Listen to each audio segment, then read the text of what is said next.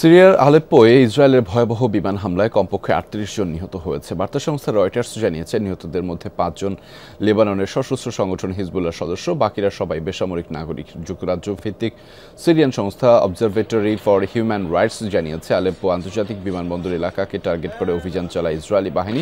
এ সময় এয়ারপোর্টের কাছাকাছি এলাকার একটি অস্ত্র গুদামে হামলা চালায় ইসরায়েলি বাহিনী। এতে সেখানে ব্যাপক বিস্ফোরণ হয়, আগুন ধরে যায়, পুরো অবকাঠামোয় হতাহত হন অনেকেই। يا رب لطفك يا يا رب يا رب.